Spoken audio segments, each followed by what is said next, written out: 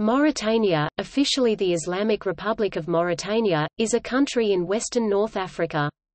Despite being rich in natural resources, Mauritania has one of the lowest GDP rates in Africa. A majority of the population still depends on agriculture and livestock for a livelihood, even though most of the nomads and many subsistence farmers were forced into the cities by recurrent droughts in the 1970s and 1980s. Mauritania has extensive deposits of iron ore, which account for almost 50% of total exports. With the current rises in metal prices, gold and copper mining companies are opening mines in the interior.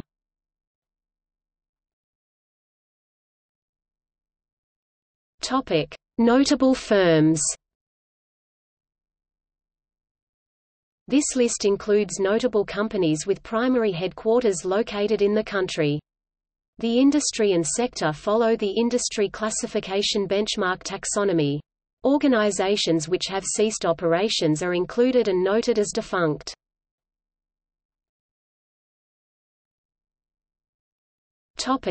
See also Economy of Mauritania List of banks in Mauritania List of airlines of Mauritania